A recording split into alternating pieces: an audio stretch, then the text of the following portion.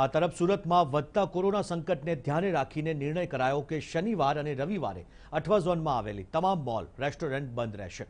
રેસ્ટોરન્ટમાં માત્ર પાર્સલ સેવા ચાલુ રહેશે. શાળા અને બજારમાં દિવસે ને દિવસે વધતા કેસોને જોતા આ નિર્ણય લેવામાં આવ્યો છે.